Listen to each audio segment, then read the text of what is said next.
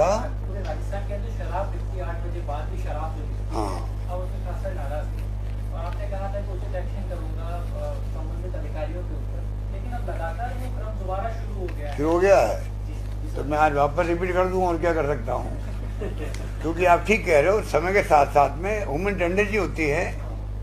मैंने कहा था कि जो संबंधित थाना है उस पर कार्रवाई होगी। भय पैदा हुआ रुका भी था फीडबैक भी अच्छा आया। अब धीरे धीरे फिर वो क्या होता है? दो ऐसे को एस एच को, दो को सस्पेंड भी किया हम लोगों ने। वापिस मैं दोहराना चाहूँगा कि आठ बजे के बाद में शराब नहीं बिके वरना संबंधित थाने के खिलाफ कार्रवाई होगी।